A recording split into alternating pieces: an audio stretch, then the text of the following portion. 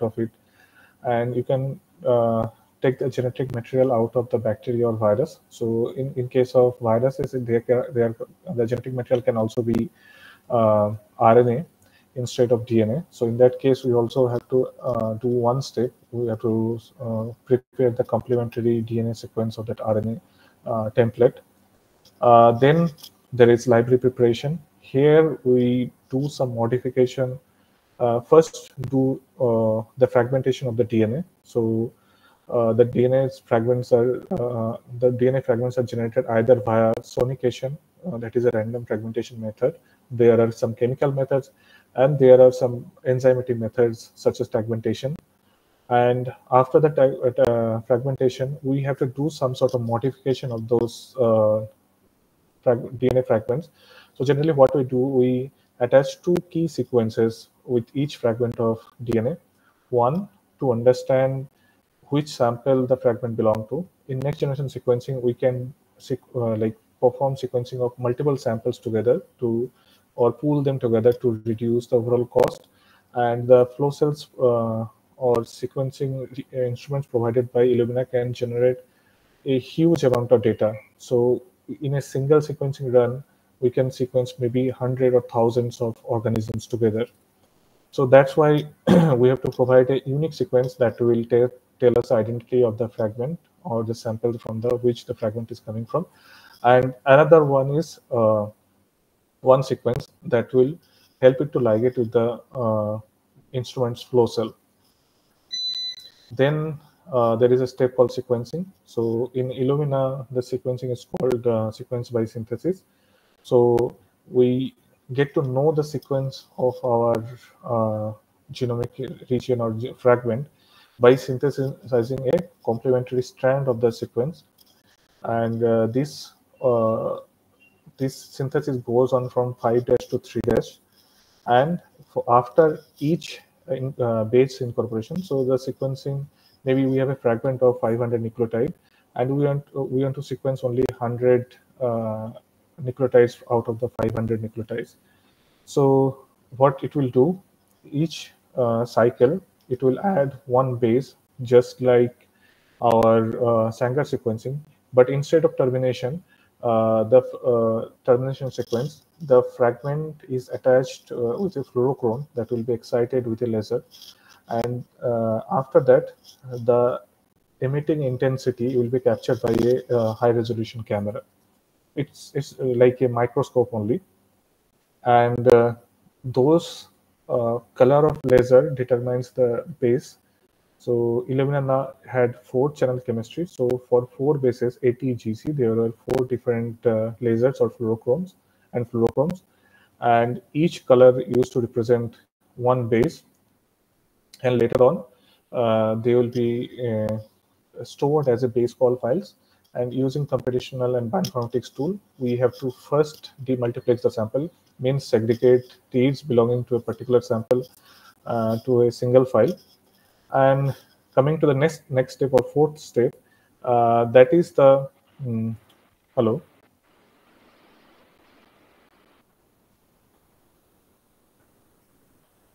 And the fourth step is drawing inference from the data.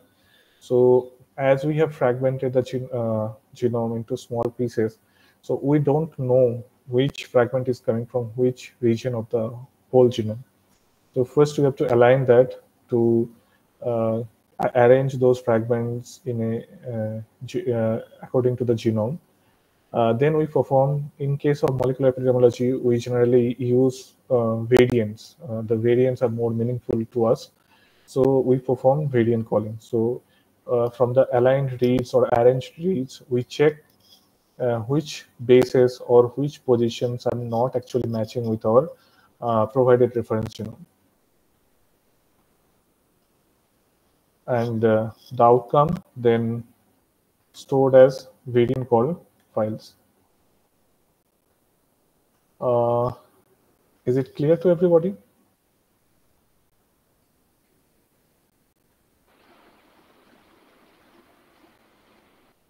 Any questions from anyone?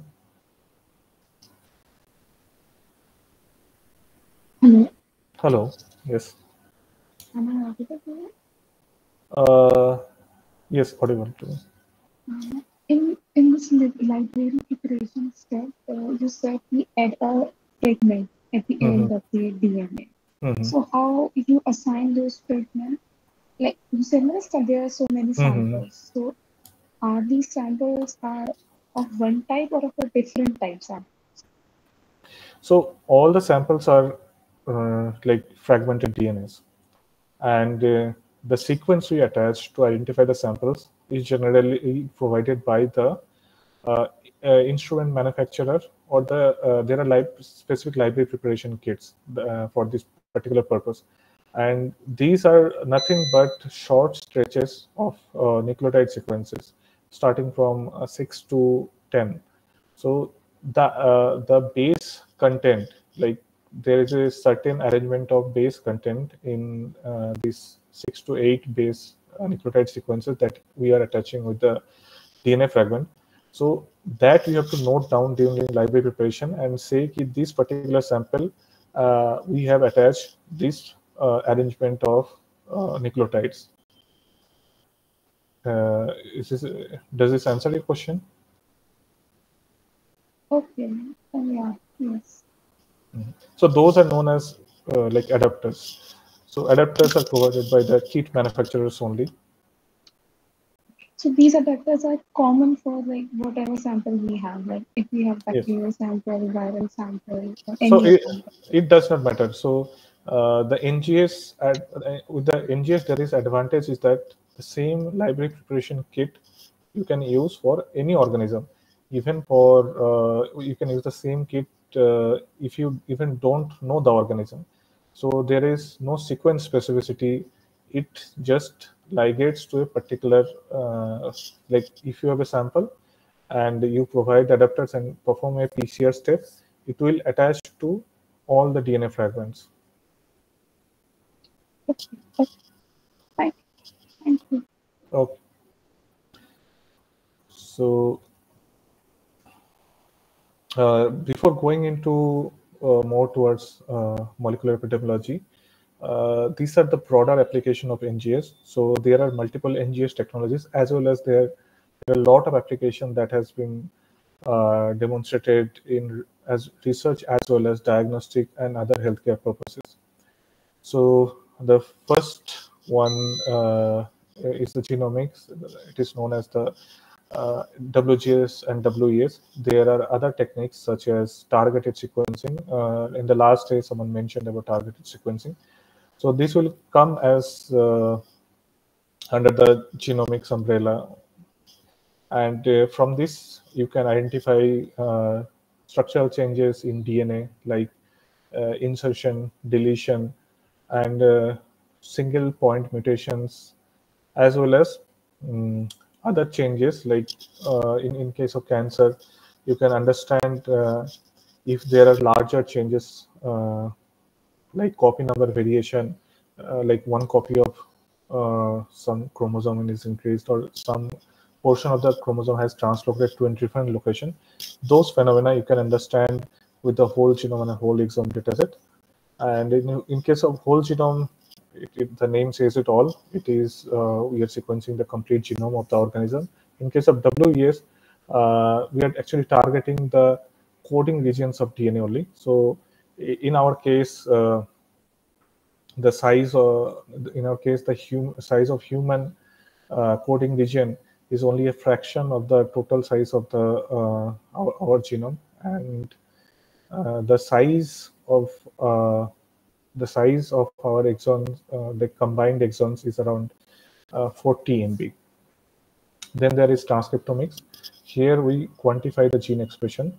Uh, so in if, if anybody has done qPCR in that uh, experiment, we use a specific primer to uh, to amplify a specific gene, and in one experiment, uh, we have we can only determine the expression of one gene only. But in case of transcriptomics, we can use RNA-seq and uh, get extract the total RNA, uh, including the when we extract the RNA, it will come with both tRNA, rRNAs, and uh, mRNAs. So we do depletion of tRNA and other RNAs and uh, convert the mRNA to the complementary DNA sequence. And based on the complementary DNA sequence, we prepare a library.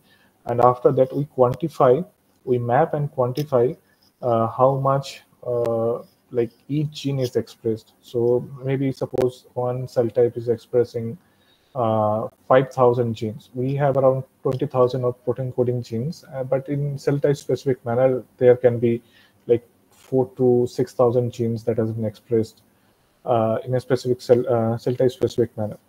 We can know the expression of all the uh, 6,000 genes or 10,000 genes together using the uh, RNA-seq experiments. And there are some epigenomic applications as well for in case of human or other mammal organisms like methylome sequencing. You can understand the methylation pattern and correlate it with the gene expression patterns. Then there is chromatin immunoprecipitation sequencing. We can understand transcription factor, uh, how they are playing role in gene expression, and if they bound to a uh, certain set of genes ATAC-seq, using ATAC-seq, we can understand the chromatin accessibility. So uh, maybe uh, there is recruitment of some transcription factor, but a gene is not getting expressed. The fact maybe that the chromatin is not accessible in that particular region. So using ATAC-seq, we can then understand which chromatins are open and ready to uh, translated, uh, transcribed by the polymerase. That can be understood by the ATAC-seq sequencing method and there comes the new domain of uh, of microbiome. So there are different types of microbiome people are doing research on.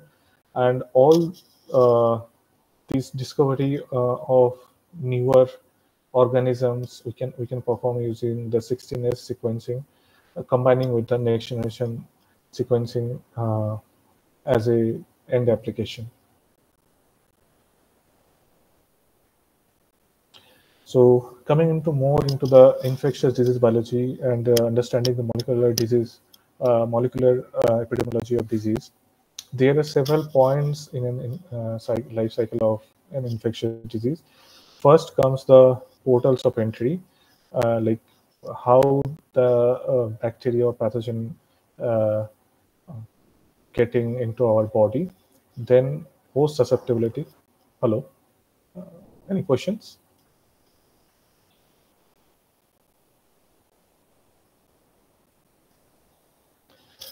So next uh, comes the host susceptibility. So even though like daily we are getting exposed to a lot of bacteria and uh, viral pathogens uh, from the air itself, but not everybody is developing disease. So there is a host factor as well.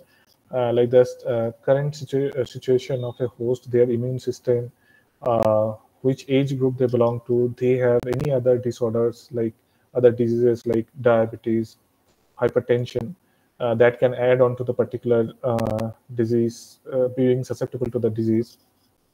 Then there can be uh, the infection. If we have already having an infection, we are susceptible.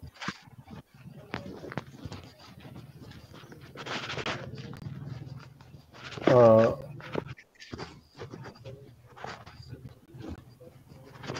do you, uh, someone's mic is on? do you have a question?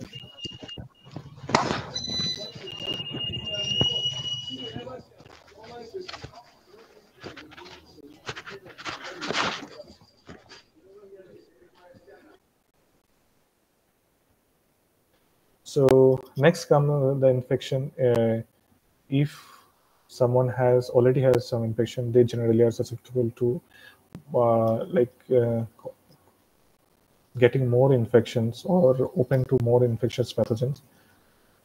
Then coming uh, the side of pathogen, like what, what are the reservoirs? This we can understand the metagenomic approach if we perform metagenomic analysis of soil, or the other elements that are that the host is exposed to like water food. We can understand the source of infections.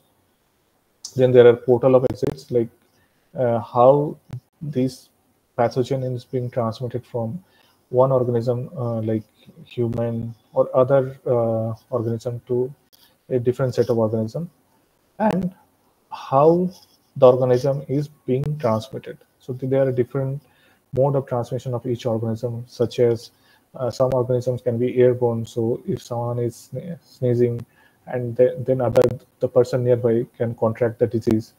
And uh, there are some other modes like physical contact or coming uh, uh, across uh, like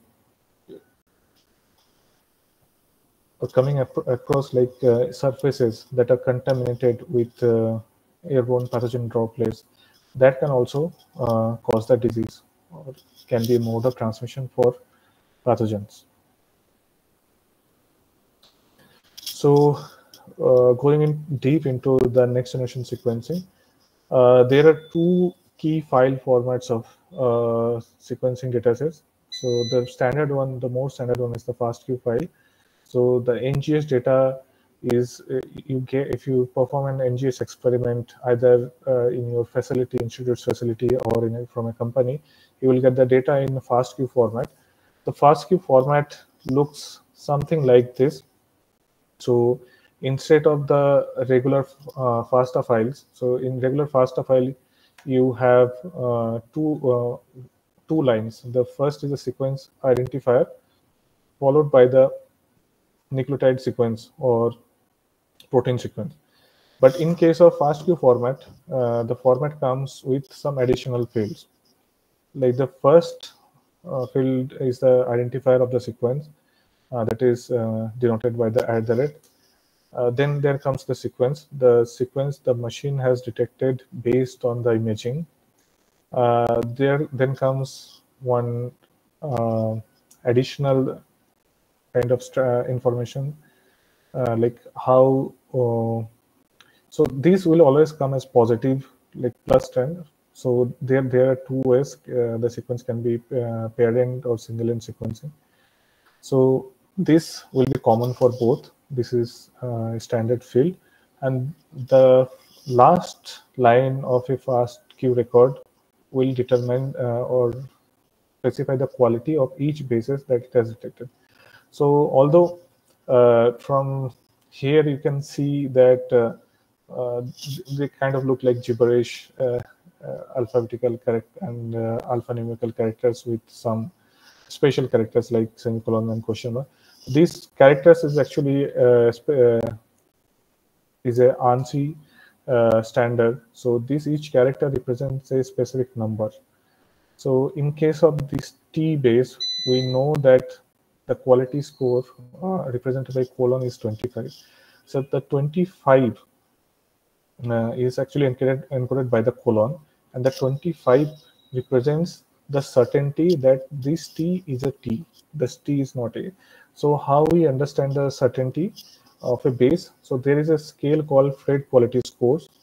So this quality score starts from uh, 10 and goes up to 40 currently for sequencing. So the 10, if some quality score is 10, that represents uh, there will be an error. Uh, the chance of error is 1 in 10. If the Phred quality score is 20, the chance of error is 1 in 100. Then if the score is 30, the error is rate is 1 in 1000 and lastly, if the Q quality score is 40, the chance of uh, getting or the wrong base will be 1 in 10,000. So based on the information I just provided, can someone tell me what can be the uh, chances of error for this particular base?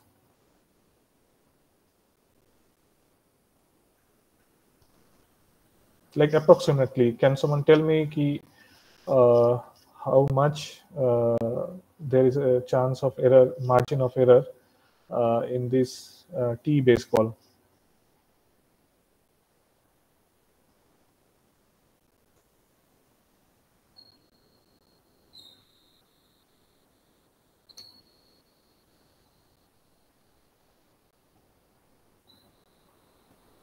Hello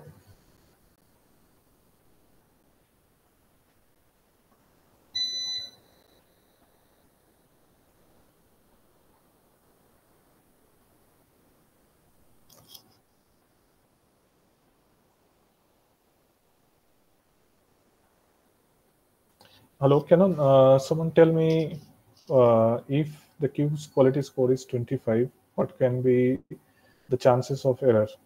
Anyone? Just uh, take a guess.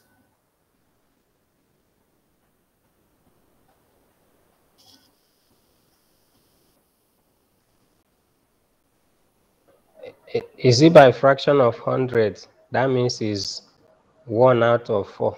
That's one over four. Uh, it, it will be a bit more than uh, one out of hundred in the range. Your voice is not audible. Sorry. Am I audible to everyone? Yes. Yes, you are audible. Uh, I think some people are having issues with network.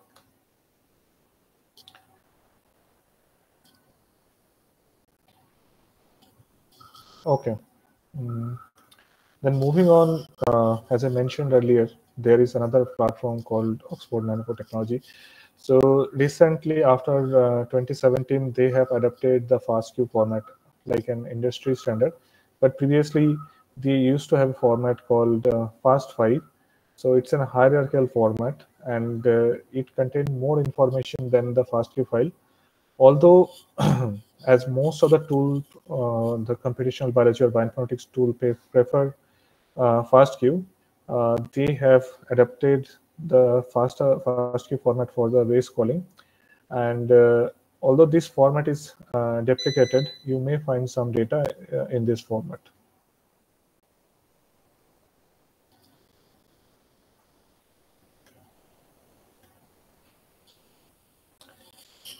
So next going on to uh, how we identify or use next generation sequencing data for pathogen discovery and molecular epidemiology. So first thing uh, with the NGS data, we have to perform certain analysis. So these are the key analysis steps mentioned here. We can have multiple samples uh, from different individuals, or we can have multiple uh, metagenome samples. Then first we go through the QC step we make sure the chances of base call errors is less. So as I mentioned earlier, the Q quality score, we generally try to keep the Q, Q quality score uh, as 20 for the filtering of the reads. So first we check using a tool like FastQC uh, to understand uh, the base overall base quality score from all the reads.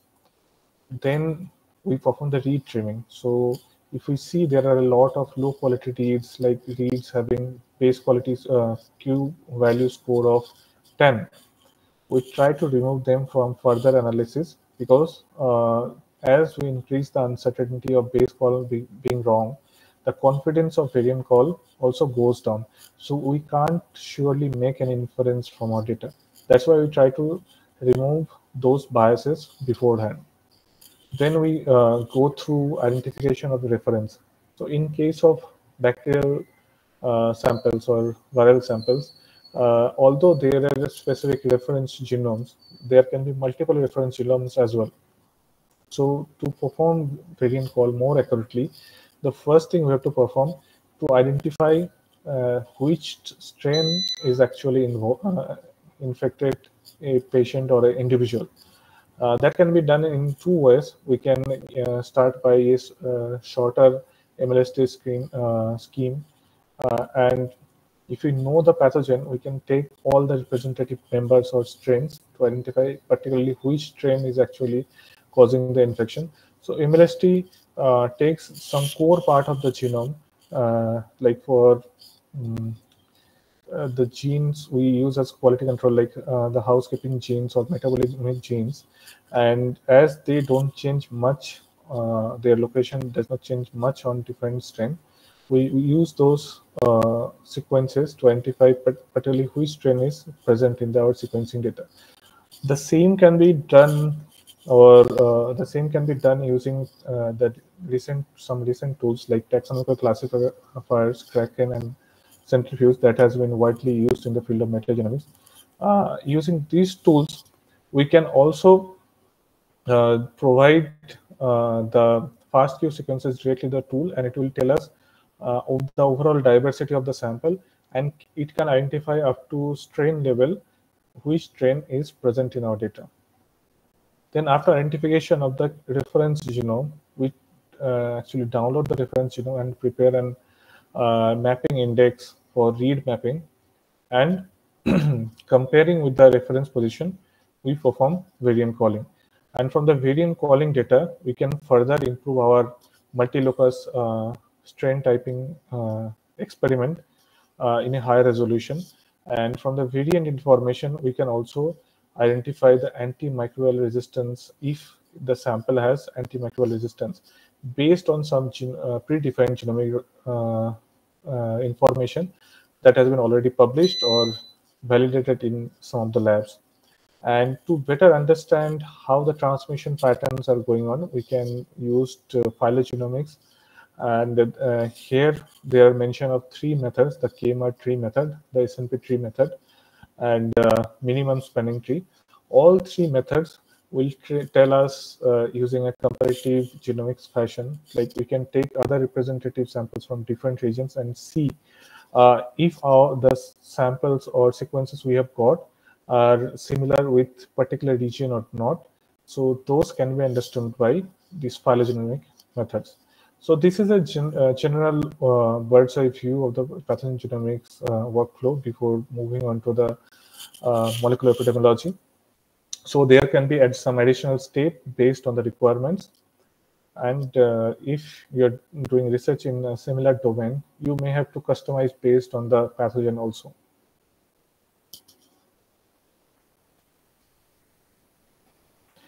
So to perform the analysis, I think everybody has been previously familiarized with uh, Galaxy project. Galaxy project has almost every tool, bioinformatics tool available, especially in terms of genomics and uh, chemoinformatics. So if you want to perform the nation sequencing data analysis uh, in, in the cloud, you can use Galaxy. You don't have to uh, go through the hassle of installing tools, changing parameters. Then if you're more inclined towards performing uh, the sequence analysis in your computer, you can uh, go to the Nextflow core community. So Nextflow is a kind of a framework to develop uh, pipelines for next generation sequencing data analysis. And it's, it's kind of working as a repository where community members can deposit their own pipelines and you can use them for your uh, research.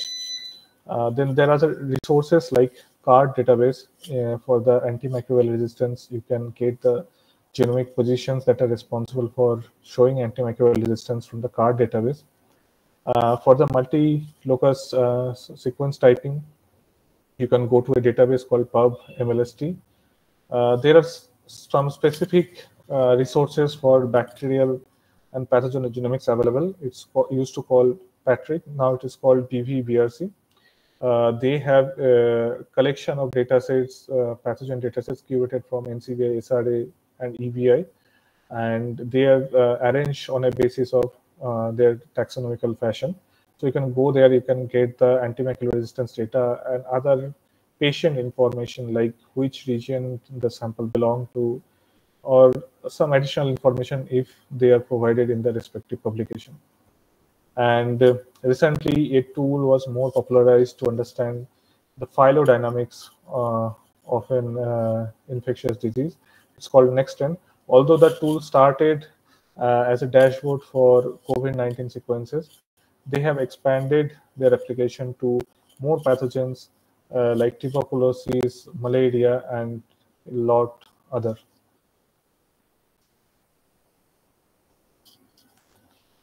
Uh, eh, is my uh, presentation clear to everyone? Uh, do you have any question? You can ask me now. I'm, I'll be moving towards the example sections where NGS has been used uh, for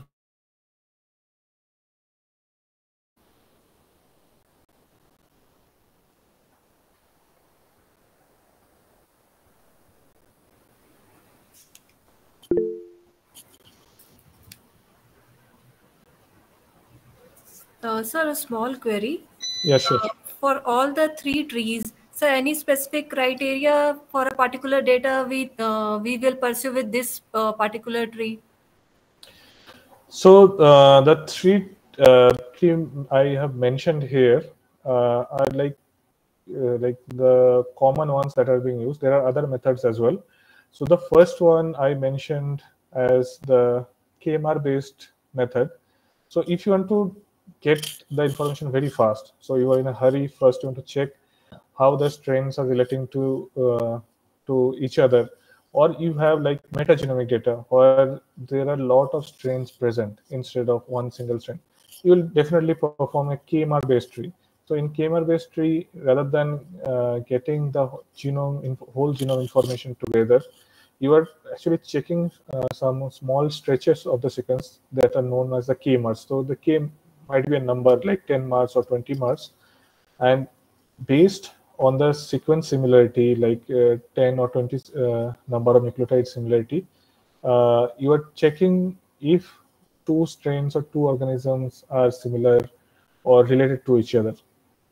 In terms of SNP tree, you are generally going towards more uh, purified population, like one individual has infection with uh, COVID-19 or tuberculosis. So in a community settings, what we'll try to do, we'll sample like uh, some individuals, 10 to 15 patients showing same symptoms, same phenotype, and they belong to the same locality. And you'll perform uh, single nucleotide polymorphism calling or single nucleotide variant calling using the pipeline. And you will compare among different infections uh, in, in this uh, SNP tree.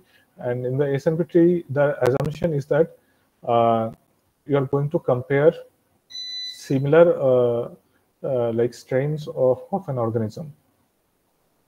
In the minimum spanning tree, the application is more towards you want to understand like which uh, individual epidemiological or endemic events are linked with each other. So in last day, Dr. Pushpendra showed one graph-like plot. So that is a uh, minimum spanning tree.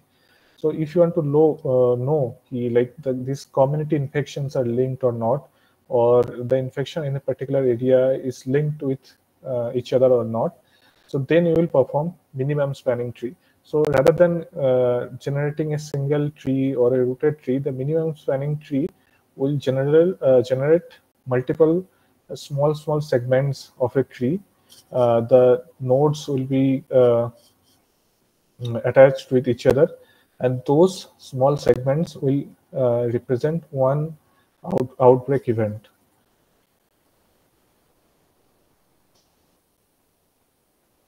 Okay. Thank you. Okay.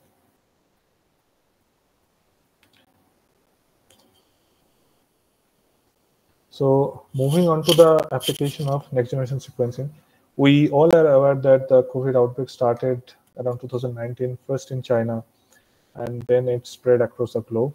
Uh, we uh, in India we observed three main waves of COVID-19 infection, uh, starting from 2020 to 2022.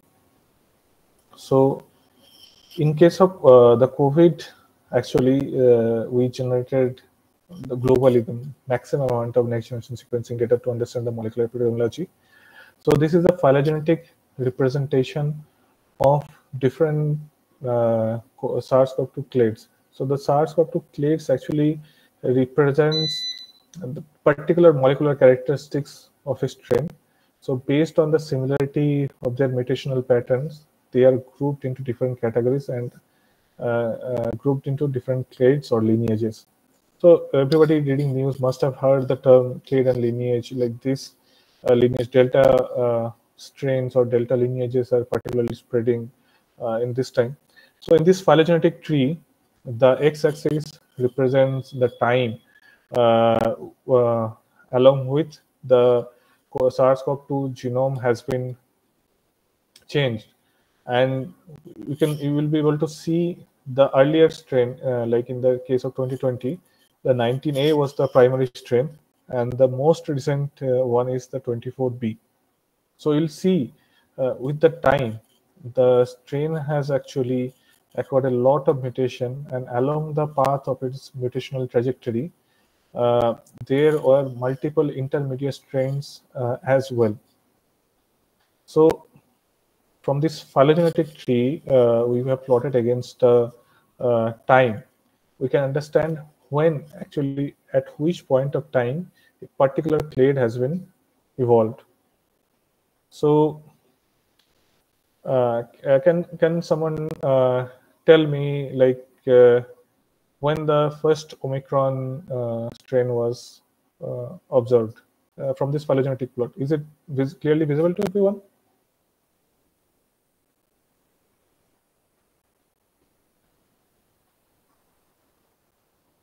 Hello.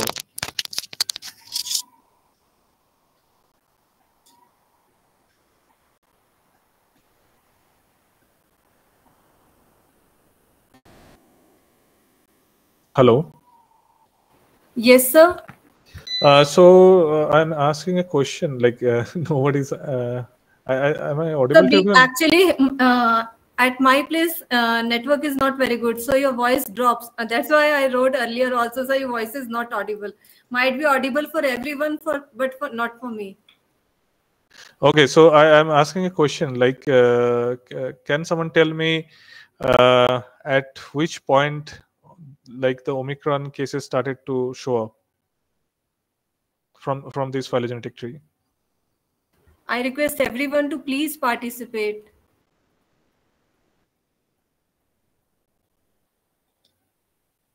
Sir, in 2020, Uh, 2020 when? that was not clear, sir. Actually, the slide was somewhat edited. Okay. Uh, no, no. The first Omicron, uh, if you can see my pointer, first cases of Omicron started to be observed uh, during uh, November or December of Dec- December or November? Yes. Around November 21. No, uh, around actually November 2020, sir. November 2020. Oh, So actually, previously it was thought the Omicron started to evolve or uh, spread in the end of 2021, uh, but genomic data has suggested the early uh, outbreak of Omicron uh, like was present uh, in the end of 2020 itself.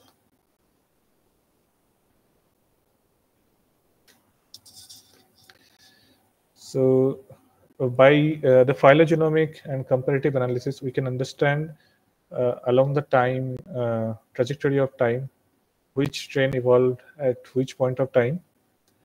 Then next, moving on to if you want to understand how fast an organism is evolving. So if an organism is evolving in a very faster rate, it will uh, definitely get more chances of selection and more uh, virulent strain of that particular pathogen can come early uh, in respect to a pathogen that is not very uh, fast evolving. So in case of COVID, uh, we have observed from the next generation sequencing data and uh, phylogenomics uh, that the rate of mutation uh, in the COVID-19 genome is around 32 or 33 uh, substitution per year. So the genome size of COVID is around 30 kV or 30,000 nucleotides. So there is a chance uh, that each year at least uh, 33 nucleotides will be changed uh, in, in the next year strains. So uh, this is one of the reason we observed uh, that even after developing vaccines, uh, there are breakthrough infections in the community because the organism was so fast evolving. Although we designed a vaccine for the initial strain of 19A, uh, the vaccine was a bit less effective to, or like the vaccine was not able to prevent in, uh, breakthrough infections in later point of time uh, because uh, the organism was getting mutated in, in a so frequent manner. The uh, the antigen it produces was getting changed and the immune uh, the immunity or the immune cells or the antibodies our body is generating based on the vaccine uh, was not enough to neutralize those uh, strain of covid uh, 19 because the antigen was not able to bind with the antibody or the antigen was uh, not detected by the antibody. So the neutralization capacity of the vaccine decreased. So from using the whole genome sequencing data only, we are able to identify the uh, the bacteria is uh, evolving around. Initially, the evolution rate was less uh, when we started sequencing in 2020. The evolution rate was around 26 mutations per year. Now the mutation rate has increased after introduction of Omicron and other more virulent strain. The rate of uh, mutation is now around 33 substitution per year. And moving on to next. So this is a, a video, the genomic data uh, so the sorry so the genomic data can also provide a snapshot of how the infection spread across the globe. So the samples we are collecting, uh, in case of COVID, it was one of the major uh, uh, information that provided uh, from the sequencing itself. We collected those sequences. We uh, performed whole genome uh, analysis and assembly of those genomes. Then we performed the identification of strain type or clade type based on the mutational pattern. And when we overlapped the data with geographical locations and uh, their collection date, uh, the NextStrain database has prepared a snapshot of uh, different strain, how they came to play globally. So in this video, uh, you will see uh, there is a uh, there is a time bar starting from 2020 and as the time increments so you will see there are five primary lineages and the number of cases they are increasing. The proportion is changing initially. And the first case was started in Wuhan, China. And as the time passes by, there is an introduction of newer strain called uh, 20B. We'll see uh, this uh, uh time uh, timeless video in our hands-on session as well. And uh, as you can see, as the time is passing by, like uh, from the November, the new cases started to uh, be observed in other geographical location.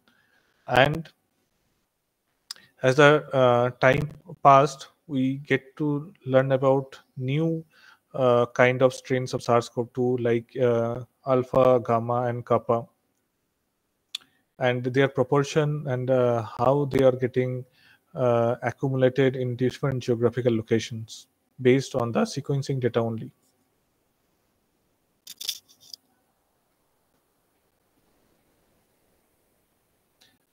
So this is one of the examples. Uh, this is a, one of the real-time examples we used uh, the NGS or whole genome sequencing data to track the epidemiology of COVID-19 cases globally. Uh, if anybody has uh, any questions, uh, they can ask me now regarding these uh, COVID-19 cases. next, I'll be moving on to how we use molecular next-generation sequencing for tuberculosis epidemiology.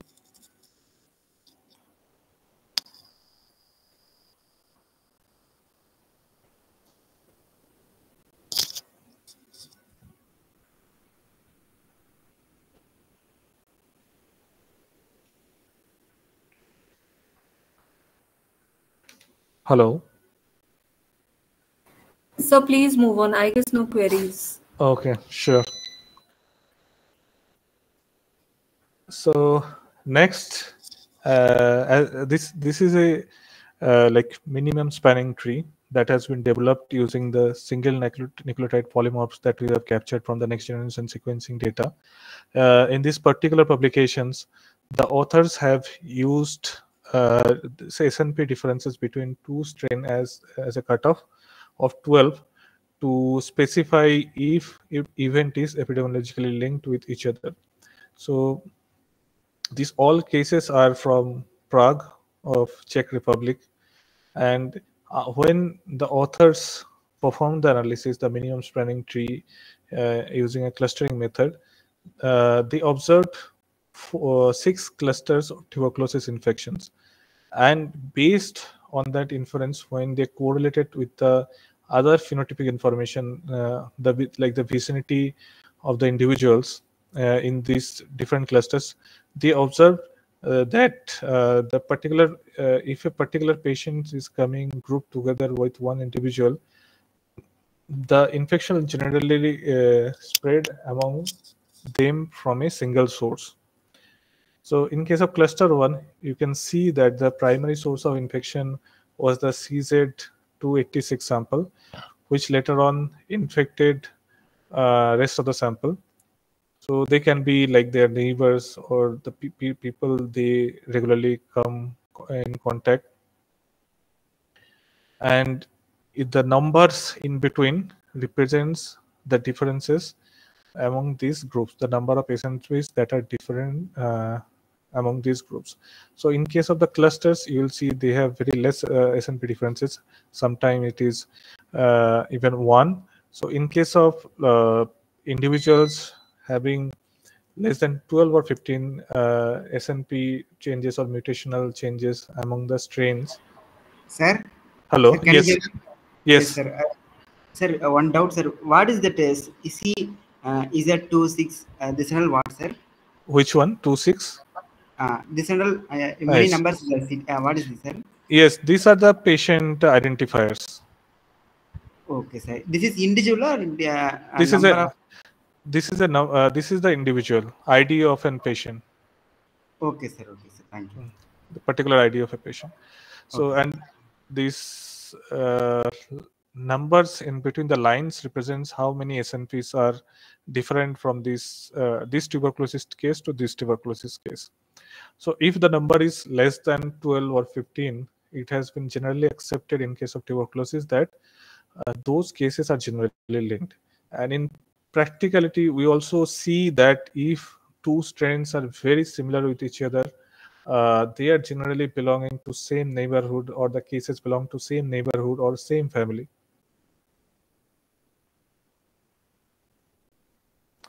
And next, coming to a more advanced example of phylogenetics.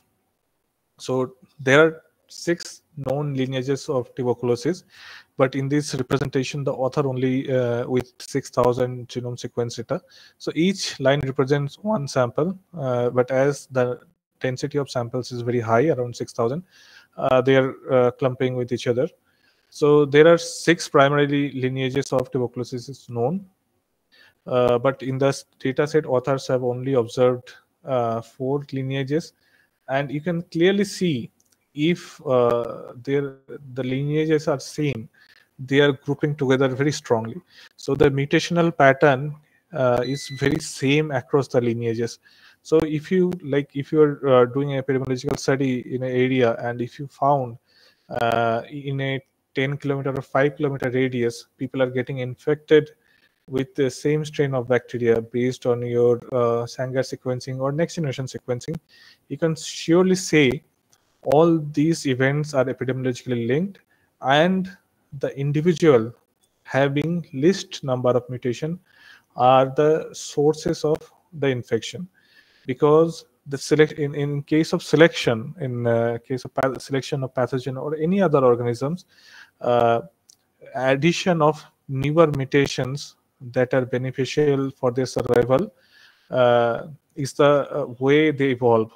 So if the number of mutation increases so that uh, from one individual to other individual based on their pathogen profile uh, that means uh, the pathogen is transmitting from a is, uh, in a community fashion and evolving in the transmission process as well so in the phylogenetic tree the inner circle or uh, the inner circle boxes represents the color of lineages and the outer circle circle represents uh, phenotype. So in case of tuberculosis it's a it's a it's a challenging disease for low and middle income countries as well as the western countries. So a uh, like when we provide treatment challenge the we we supposed to think that bacteria will get killed or if doctor provides us medicines for tuberculosis will get cured. But the thing is that uh, based on the treatment we provided for last 50 60 years the bacteria uh, has started to evolve. So the bacteria is getting mutation on the regions or proteins that is being targeted by those drugs there are several drug resistance development mechanisms in the bacteria. But the overall thing is that the uh, acquisition of mutation is actually helping uh, the bacteria or pathogen to survive uh, irrespective of drug challenges. So in case of tuberculosis, drug resistance is a major global challenge.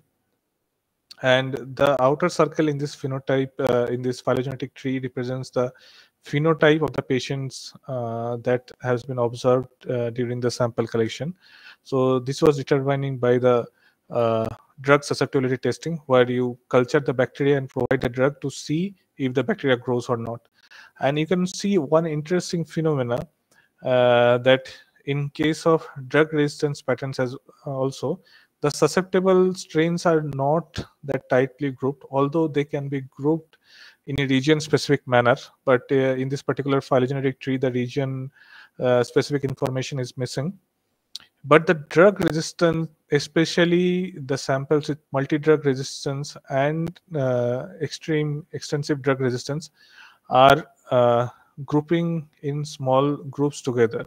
So that means that they have uh, kind of like similar mutational profile and uh, generally these kind of like uh, groupings are linked to uh, community transmission or how like the patients the tuberculosis patient generally goes to a particular uh, clinic or center in their uh, village or city to get the drugs. And in such in such interaction someone might have got infected or the infection can be spread uh, in, in like the, the, two individuals, one with TB and another one is suspected TB, visiting the same healthcare or they are coming in contact in a healthcare settings. Uh, because TB is a, a, aerosol, TB spreads via aerosols. So if one is sneezing, they will or, or coughing, uh, they will leave residue of tuberculosis uh, in surfaces as well as in the air.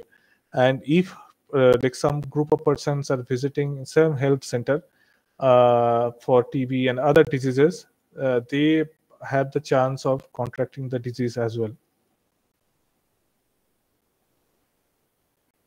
So next, another example for tuberculosis, we also use the SNP differences directly uh, for and to understand, yeah, like the epidemiologically uh, epidemiological events are linked or not with each other. So in this particular case, we have compared the pairwise SNP differences of uh, 200 samples. So you can see uh, there is a pillar uh, near zero. So this actually does not represent the number zero exactly.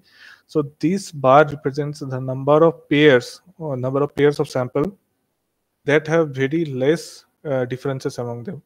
And we first saw that uh, the samples are having uh, like 39 samples out of the 200 samples are showing SNP differences less than 50, uh, less than 15 and when we performed the phylogenetic analysis we saw from those samples there are two distinct epidemiological events where uh, two group of people one major group of people infected with, with a certain strain of tuberculosis and there is a small group of people also sharing same infection pattern. And next coming into more holistic understanding uh, like sir? Yes? Sir what is the snp sir? Snp is single nucleotide polymorphism. Like the single nucleotide changed uh, in a bacteria or an individual Okay, sir. Thank you.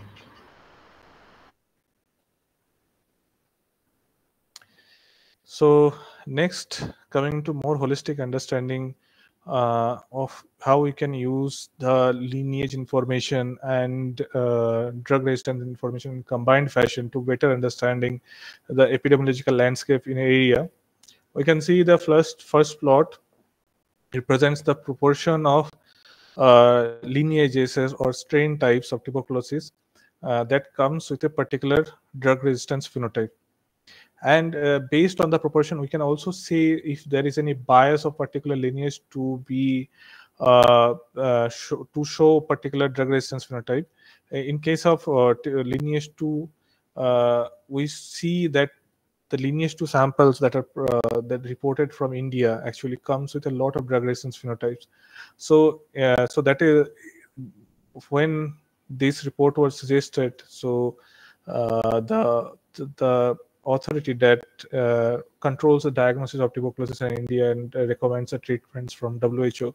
They suggested that if you if you observe any lineage to samples, you should definitely perform drug resistance phenotype uh, in a priority fashion than any other lineages. So such informations can also be determined using the uh, whole genomic uh, whole genome dataset itself. So the B plot is actually tells about the uh, SNP part of it like which particular mutation is associated with drug resistance and which particular mutation is uh, is not actually contributing from the drug resistance phenotype. So this is a uh, like uh, notion for representing protein or nucleotide changes. So the first uh, letter v represents uh, the amino acid in reference. Then there is the position and then comes the uh, the change in the nucleotide, which will actually cause that particular phenotype like drug resistance. So this is like like the overall summary of how you can use uh, NGS sequencing data uh, in a, understanding the epidemiological events and how the epidemiological events are linked and how you can establish that particular correlation using the next generation sequencing data. So any questions from the presentation or any, any particular uh, topic of next generation sequencing?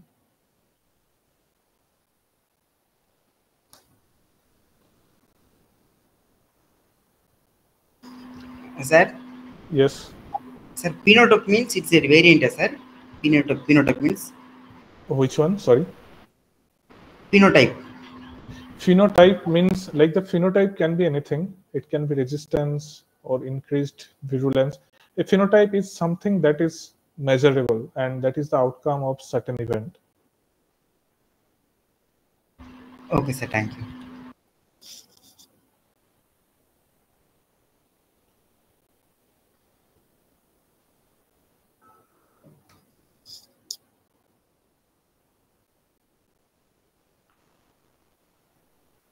Any other questions? Uh, so uh, if nobody has any question, I'll move on to the hands-on session part. Yes, sir, please. So this is the hands-on part. I'll uh, just paste this slide in the chat. And uh, there are some questions uh, like this all are web uh, resources, so nobody has to download anything. If uh, you have a laptop or computer available, because the next train will take some of the resources of your computer as well to load. So if you have your laptop with you, uh, you can start uh, the hands-on session with me. I'll pa paste all the details in the chat.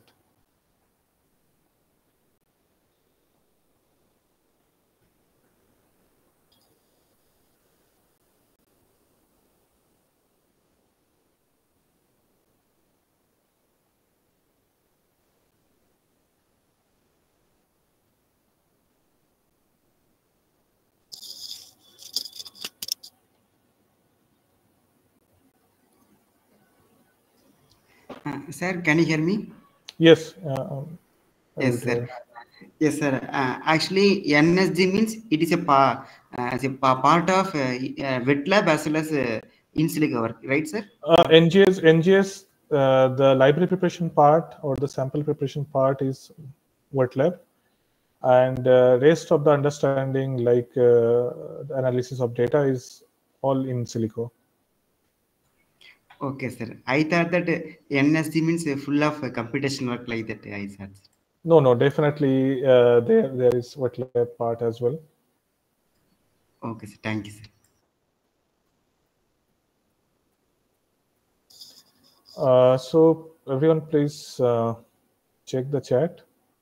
Uh, there are some like uh, quiz-like questions, and they are based on the uh, link that has been provided. You can browse those uh, repositories and uh, start answering the question. And if you have any doubts, you can always ask me.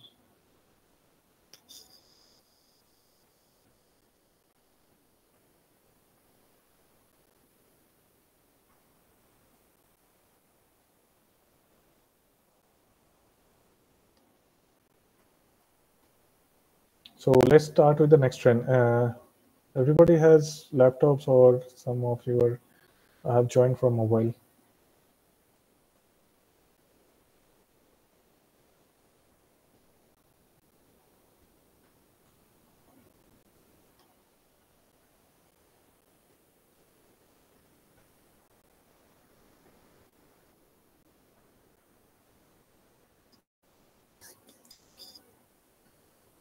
Hello.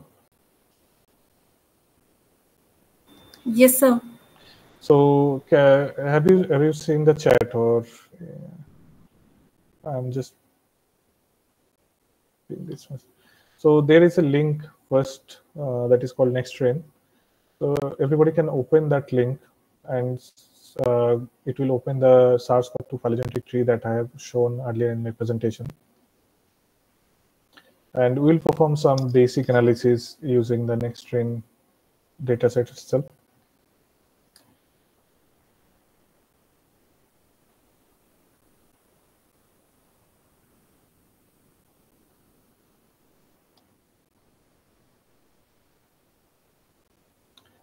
So everybody able to view the my screen?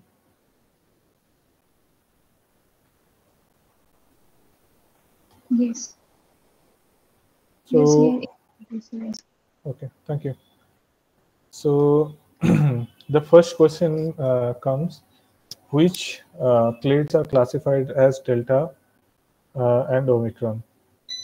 So if uh, you have opened uh, this phylogenetic tree in your computer or you're, you're viewing from your mobile, uh, can someone tell me which uh, uh, clades? Like I, I'm giving an example.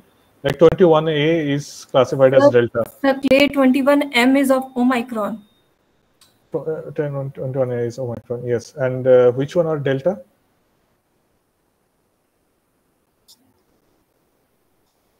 So 21J and 21A. Hmm, yes. So, uh, like the most of the analysis has been already conducted by the Nextstrain team. Uh, that's why we can directly visualize this kind of information. But when we have to do by ourselves, we generally have to follow a computational biology uh, pipeline or use the Galaxy database. So next, moving on to uh, my next question. So there are multiple waves of COVID-19 infection, and there is a second link provided from uh, worldometers.info. So I, I'm just giving you the general idea. Like the first wave of infection was from, let's say, uh, March 1st to of uh, August uh, 1st, 2020. So th- there, there is a calendar sign uh, in the date range column, uh, the date range uh, info field. If I go there and select the date ranges I have just said uh, of the first wave, let's say I uh, start with uh, March 1st of 2020. And I want to look into the strains that was present uh, the duration of first wave as uh, my limit. So let's select, uh, I, I just want to look into the strains up to 2020 of August of 2020. So let's select the August 1st of, uh, or maybe the end of August of 2020. And if, if I select the range, I just have to click outside uh, of this box and it will load mm, all the strains that were present uh, du- during this period.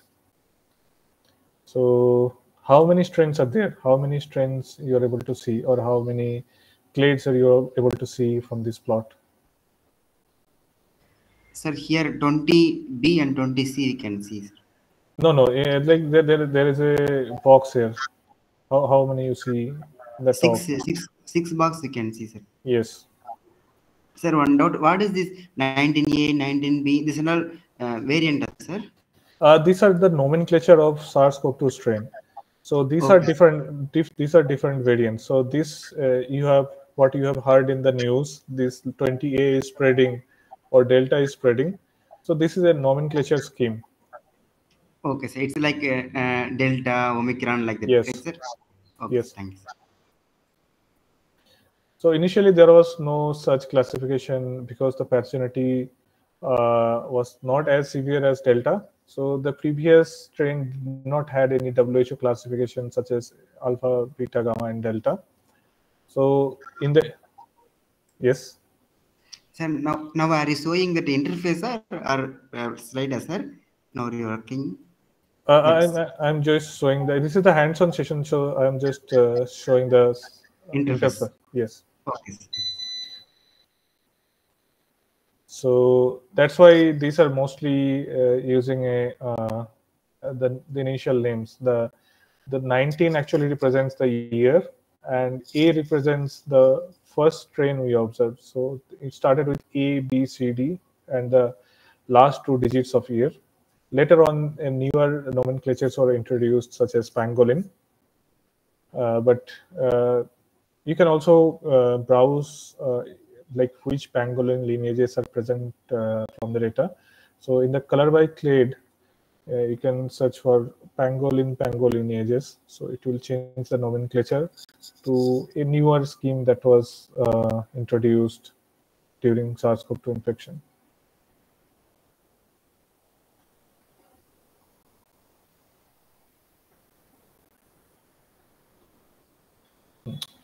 So this 2020A will be changed now.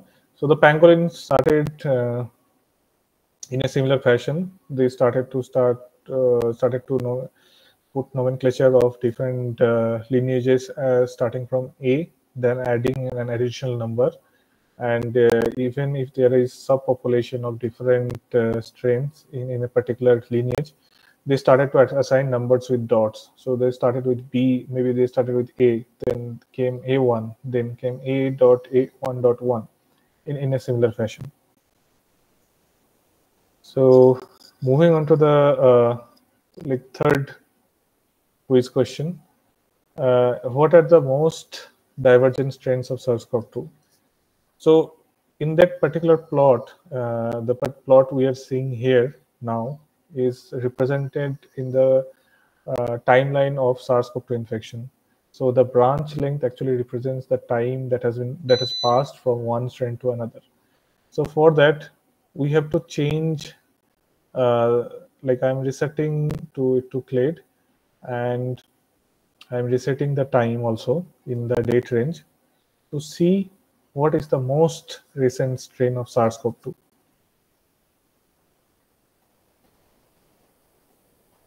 So I have changed it to color by clade.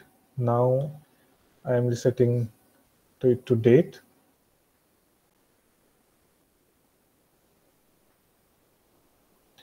So uh, here I have to uh, scroll it, uh, scroll a bit to get this uh, toggle button.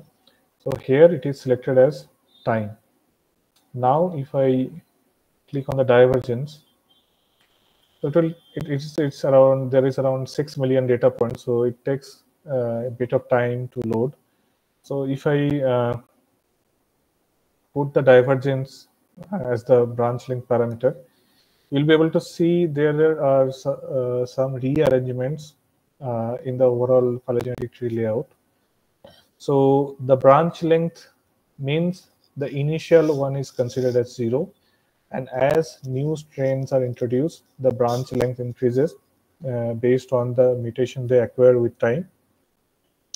And so from the information I've provided, the starting will be 19A and it will be the branch length zero. And the scale is increasing uh, along with the x-axis or maybe in the right side. So can someone tell me like which strain is the newest one from this phylogenetic tree?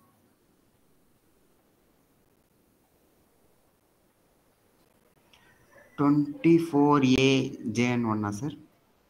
Uh, yes, 24. So, yes, 24BJN. yes, that's correct. So the newest strain or the most divergent strain is 24B uh, which is also another, which have also another nomenclature, J1.11.1. Okay. Then, uh, so how everybody is finding uh, this exercise? Is it boring or this is looking interesting to you? Yes, sir. It's new to us, so we are interesting, interesting go through that. Yeah, I, I know I talked about a lot of stuff. Maybe that is overwhelming for everyone. So that's why I designed this uh, simplified experiment so we can all perform it. Yes, sir. We just hear about NSG, NSG, NSG. So you are yeah, in this session we are able, we are able to uh, get the information regarding that. Sir. Mhm. So next we move on to another uh, like simple experiment. Okay, the, a lot of people also answering in the chat. I sorry I missed your uh, comments. Uh, so next we are moving on to another experiment with uh, tuberculosis. So uh, the thing is that the data that has been shown in the that uh, data portal or browser is belonging from next generation sequencing. So in, in this case, uh, in this in this another tool that I have, I have provided link to that is the TB Gen tool. So we can identify the type of tuberculosis strain. Like we are saying for COVID, we are saying 21A, 22A or something. Uh, but how to determine which one is 21A, 22A or lineage 1 or lineage 2 in case of tuberculosis?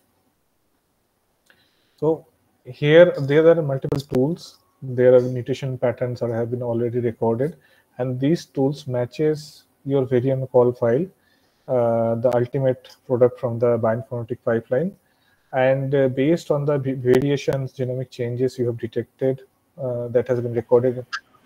Yes, Anurag. Sir, yes, sir. Sir, uh, one doubt, sir. NSG means mainly used to uh, observe the mutant. Uh, uh, that only, sir.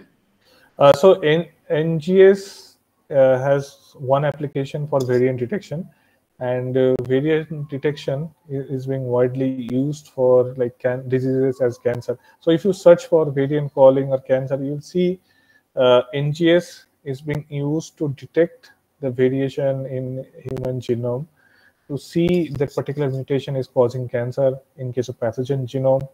Uh, this NGS uh, is used in the context of discovering genomic changes.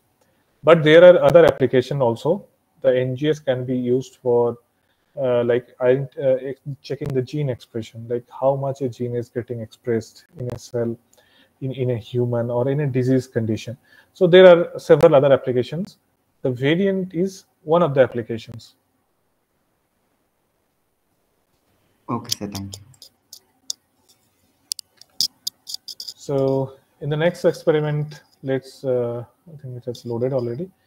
So there are already, they have this database, they have analyzed around some uh, 670 samples, pre-analyzed samples have been provided. So I have provided uh, ID of two samples and uh, you can download the variant call file or download the list of variants by just going uh, into the database in the uh, in, go to the reference dataset section and uh, just by scrolling a bit you will find the select sample section of this database. So you can just uh, delete the name that has been provided in the uh, list. You can just paste the name i have provided and click on download vcf so it will take uh, sir, this sample means uh, is one patient sample, sir. This is, this is this is one patient. Yes. Uh, this uh, sample have the uh, sequence uh, sequence information, sir. Yes, the the sample has been sequenced, and uh, from the sequence, all the analysis has been performed. Now we have the list of variation genomic changes that has been keep on talking about genomic changes, genomic changes. So there is a file format for keeping the genomic variations. Uh, that is called VCF or variant call format. You can see it has been mentioned download VCF. So VCF or variant call format is a standard format for recording genomic changes.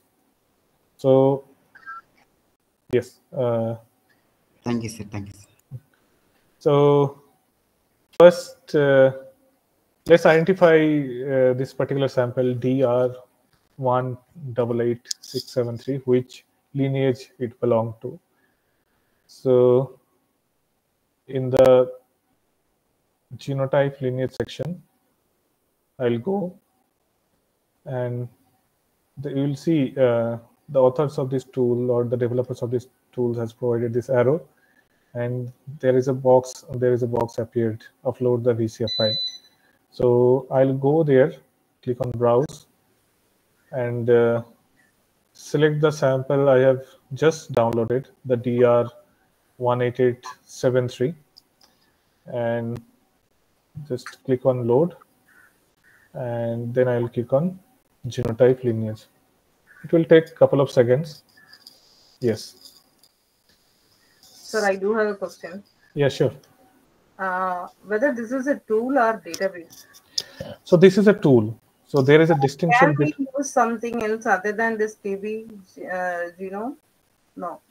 Uh, this is kind of like an example how for in case of tuberculosis you can identify the lineage type uh, there are we do some other uh, analysis in this? means some other sample, some other genotype, something. No.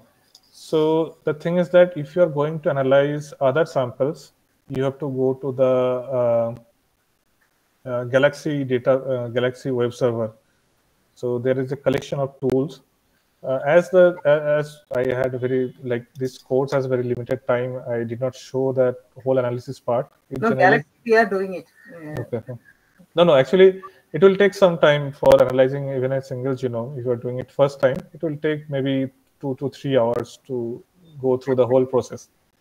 So here I am showing the end product. Like uh, after a pipeline completes, um, you, you can go here and identify the different type of pathogen strains and their drug resistance phenotype. Sir, Okay, yes. uh, sir, where we where we can get uh, that VCF file, sir, like VCF PDB database. None. There is no database for VCF file. Generally, what happens, you perform a next generation sequencing experiment, you get FASTQ files. And uh, after FASTQ files, you have to process that file to get the VCF file.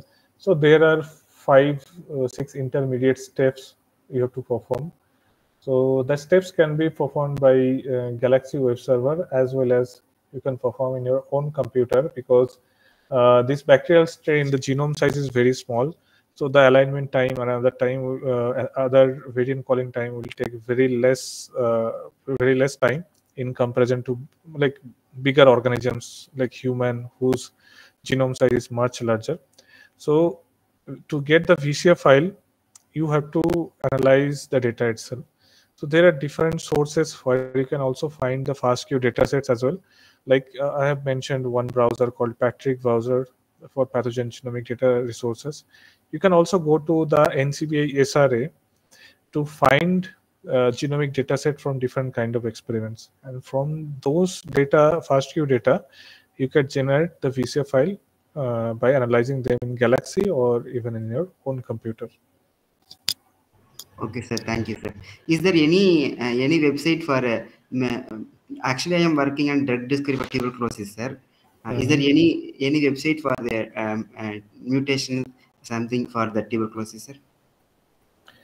So uh, for I also also uh, during my PhD working in the domain of tuberculosis research. So I there are there are tools like uh, some tool called GenTB. There are two three databases. Uh, I think one I also I think the comment got truncated at some point. So there are tools, but particularly for tuberculosis, and tuberculosis is a very widely researched topic. So you will find uh, a lot of tools to generate uh, VCF files in case of tuberculosis. Like there is, uh, if you want particular mentions, you can go to GenTB. Uh, then there is TB Profiler, another tool called TB Profiler. there is one tool called SAMTB. I actually provided the link. I think uh, it got truncated because the uh, I have reached, reached the sentence limit in uh, the chat. Let me paste it again. So the SAMTB actually requires uh, the GenTB and SAMTB requires registration. And uh, the other tool I have mentioned, like TB Profiler, does not need any kind of re registration. Thank you, sir. So in this uh, particular tool, uh, we got that this is the L1 uh, or level one is lineage two, and uh, these are these are some other uh, nomenclature, and then, then the like more granular nomenclature of this particular sample. So we can see that is lineage 2.2. This is an ancient lineage of lineage 2. That means it is one of the ancestral strain of uh, TB. So if you co correlate the sample number or if you find the metadata for this sample, we'll see that this case definitely has been reported in like 10 or 15 years ago.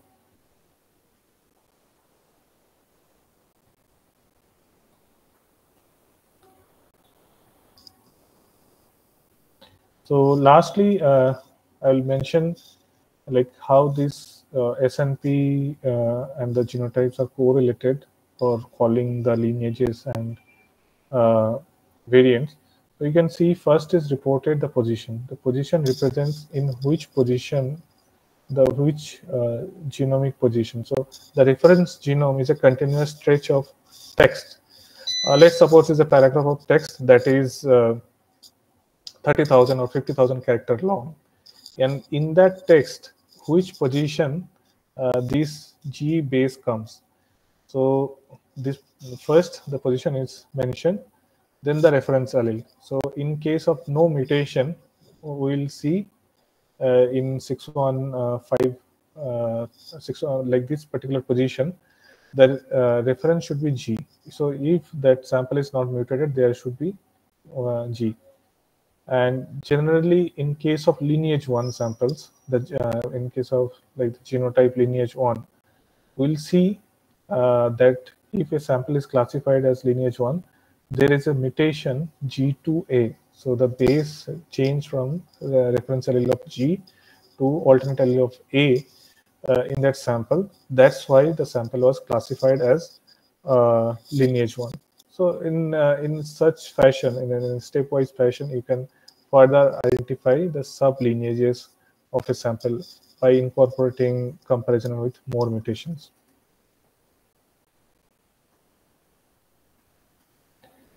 And uh, this database also lets you explore the phylogenetic representation of, uh, sorry, uh, this tool represents the uh, different representation of phylogenetics of M tuberculosis. So there is also included one uh, lineage that infects animal, mostly uh, domesticated animals like cow. so there is one strain is also known in tuberculosis known as M bovis. And most of us most all of us might must have received the BCG vaccines. So the BCG vaccine is uh, for uh, preventing tuberculosis infection among children in India because India is a very high TB prevalence country. So the BCG vaccine was developed uh, based on a attenuated version of M. bovis or the animal version of tuberculosis.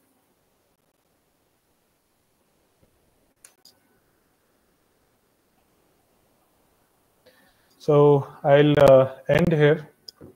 And if anyone have any questions they uh, want to ask. Uh, Sir, how to figure out drug resistant determination?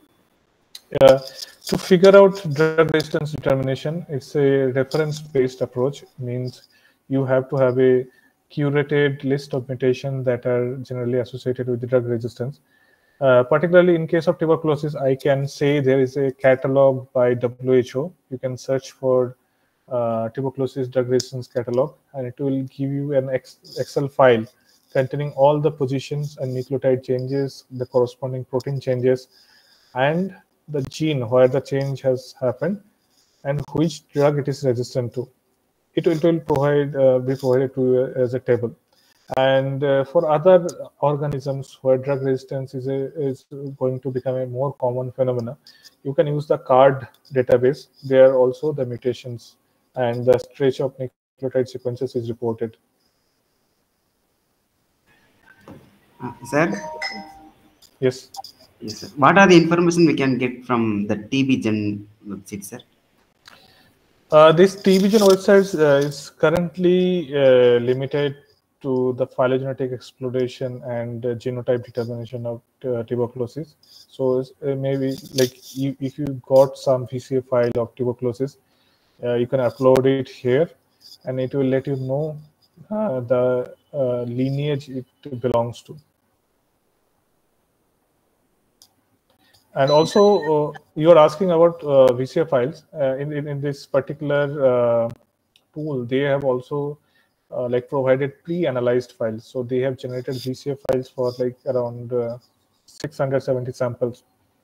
So you can also download those files and check the variants yourself. Okay, sir. Sir, can you mention any pipelines in Galaxy for NGS data analysis?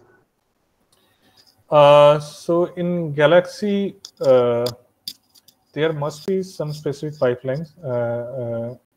I don't use Galaxy much, so I can comment the exact name. But uh, in, in the Galaxy, you might have seen a search box is there. And if you just want to go for a variant discovery after logging into the Galaxy platform, like variant discovery. So I think some of the curated pipelines are already already uh, present there. Uh, if you don't come across any pipeline regarding variant calling, uh, you, you can go to the next uh, Nextflow core or NF core platform. So the issue is that uh, the Nextflow ones you have to run on your computer, but they are generally very well. Uh, they generally provide a very uh, well description of how to run the pipeline and how to uh, get the results or how to troubleshoot. And if you're working in the domain of bacterial genomics, you can also perform the genomic data analysis in your own computer as well. Uh, like it only needs around uh, 8 GB of RAM or uh, 4 cores of CPU to get started in pathogen genomics. Thank you, sir. Sir, can all, uh, you can also say that like sir, uh, where we can get the sample data sets for uh, data, NGS data analysis, especially in cancer, sir. Uh, any particular organism you are uh, looking into or you just want to get started? So, like uh, any like cerebral cancers or cerebrospinal cancers in humans Yes. itself. So let me uh, introduce uh, to you a database uh, that contains most of the genomic data and one of the largest repository of next generation sequencing data. It's called uh, NCBI SRA. So the SRA stands for uh, Sequence Read Archive. So it's people use it to deposit sequencing data from their publications. So, uh, which disease you are mentioning? Cerebro? Uh, cerebrospinal cancer, sir.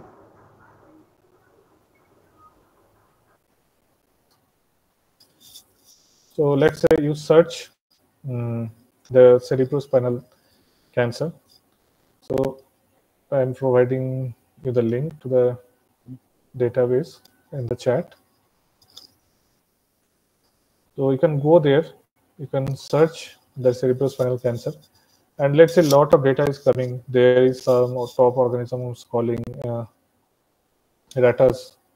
So this is from rat. There is some mouse model. But if you want to particularly focus into Homo sapiens, you can just click it here, and uh, it will only filter or keep the Homo sapiens sequences. And let this this is this all individual records are of one sample. So as I was mentioning, ki, like uh, one VCA file. So this single record will generate only one VCA file. And there are some metadata information in the title itself, uh, like like WX means WXS means whole exome sequencing as like WES. This they are synonymous. And if I click here, uh, it will show me uh, like how many how much data is present. So it's 5.6 gigabases. So in total, it is 19 gigabases. So this gigabases represents the number of bases, not how much space it will take in your computer. And if, if I click into the run information, so the run information actually contains the actual sequence. It will uh, redirect me uh, to a repository where further information is present. And from here, uh, you, you can do, like you can get the basic idea of the sequence or you can start downloading the sequence uh, using this particular ID. So let's say I want to download uh, this particular sequence from this database. So there are multiple ways to download the sequence from NCBI SRA. So I am showing you one of the simplest methods to download the sequence. So as you can see, there are no links provided for downloading the sequences. So the database expects the people who are using the database know the command line utility. So they have a command line utility called SRA SRA tool. But let's say we don't have the command line and we want to download the dataset. I'll go to a website called SRA Explorer. So if you search it on the Google, it will come as sraexplorer.info. And the accession number I have just copied from my search result. Let's say I search it here. So it will show one record, one whole exome sequencing of a female and I have selected the sample. I have added it to the collection. And you can actually add multiple samples and download them together use this, uh, using this SRA Explorer tool. Now you can see I have one sample saved in the datasets. If I click in the datasets uh, tab, it will show uh, like different ways to download them. But I am going to use the most simplest method. So I can just go here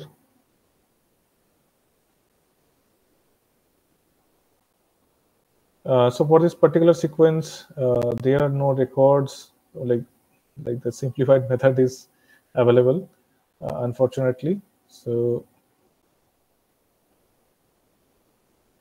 so we can download it uh, from this link, and we have to do some kind of processing to convert the SRA file to uh, FASTQ file.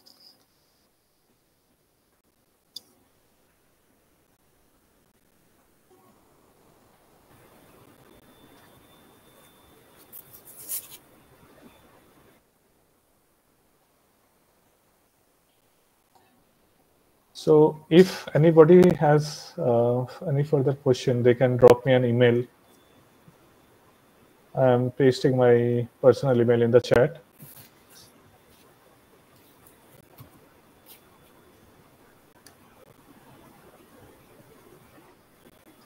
So you can reach me uh, anytime. I'll try my best to answer or satisfy your queries. And also uh, share your feedback how you uh, felt about this session. Sure sir. Sir on behalf of bioclues i want to thank you for your enlightening talk and your effort to put it success. Your talk was not just informative but also a thought provoking and will surely benefit in our work. Thank you once again sir. We are looking forward for the opportunity to learn from you in future once again Sure, definitely. I request everyone to please switch on their camera so that we can click a photo. Uh, sir, will you please stop presenting so that we can click a picture? Yeah, definitely.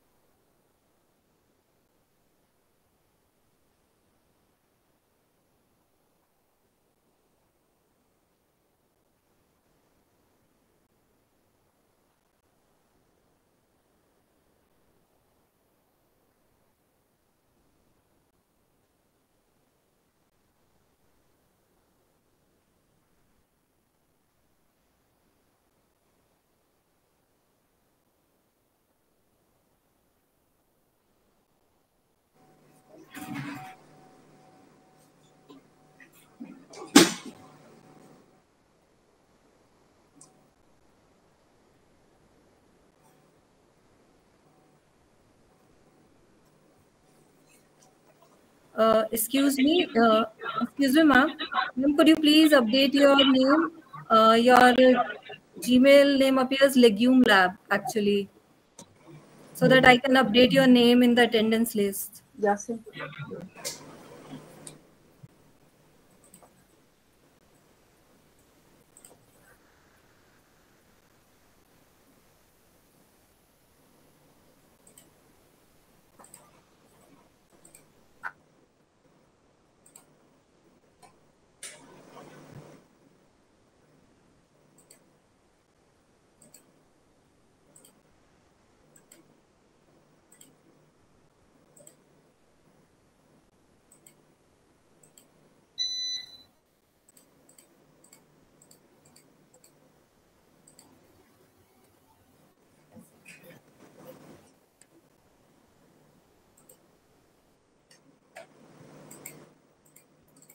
Yes, Utah.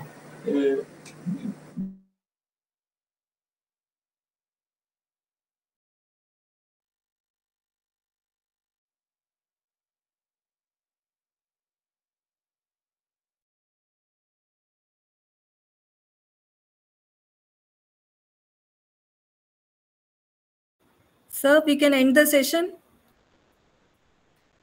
Thank you so much. Yeah, sure. Thank you for having me. Bye. Thank you, sir. Thank you, sir.